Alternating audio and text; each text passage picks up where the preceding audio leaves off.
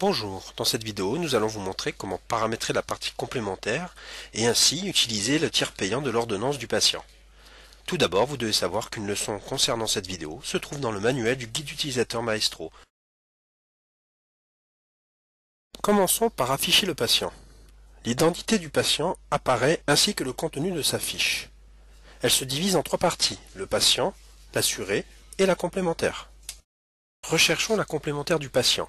Tout d'abord, choisir le justificatif adhérent assuré à présenter un support de droit autre que la carte vitale.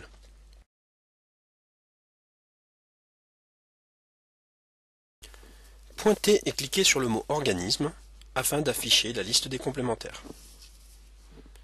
Munissez-vous de l'attestation mutuelle du patient et vérifiez le numéro d'organisme à rechercher. Dans notre exemple, nous utilisons la carte de complémentaire Novalis Prévoyance du groupe SP Santé qui est géré en télétransmission de manière séparée. Retenez le numéro d'organisme AMC présenté. Rentrez dans la case numéro la recherche de celui-ci. Le résultat de votre recherche s'affiche ci-dessous.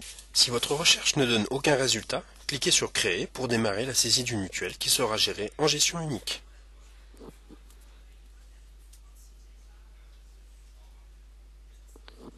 Cliquez sur Valider. Le message suivant apparaît. Il vous explique que cette complémentaire est gérée en séparé au niveau de la télétransmission et qu'il vous est nécessaire d'avoir signé une convention pour obtenir le règlement mutuel de la facture.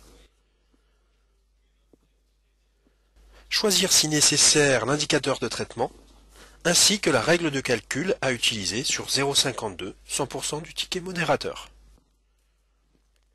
Renseigner les périodes de validité de la complémentaire inscrite sur l'attestation papier ou que vous voulez facturer.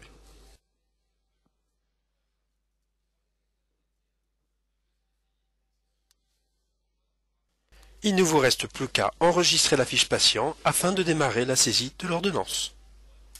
Dans notre exemple, l'ordonnance est déjà créée. Après le remplissage du traitement de l'ordonnance, veuillez vous assurer avant l'enregistrement que l'assurance soit positionnée sur maladie, ainsi que le tiers payant en C M.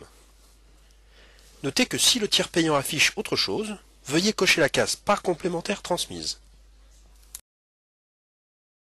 Il ne vous reste plus qu'à enregistrer l'ordonnance et passer à la facturation de celle-ci.